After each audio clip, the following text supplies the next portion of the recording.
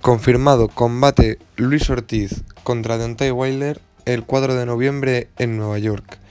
Eh, el cubano, con un récord de 27 victorias, 23 por KO, se va a enfrentar a Deontay Wilder que tiene un récord de 38 victorias, 37 de ellas por KO.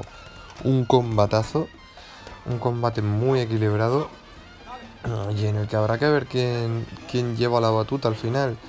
Ortiz yo creo que se va a llevar el combate. Tiene mucho más nivel que Deontay.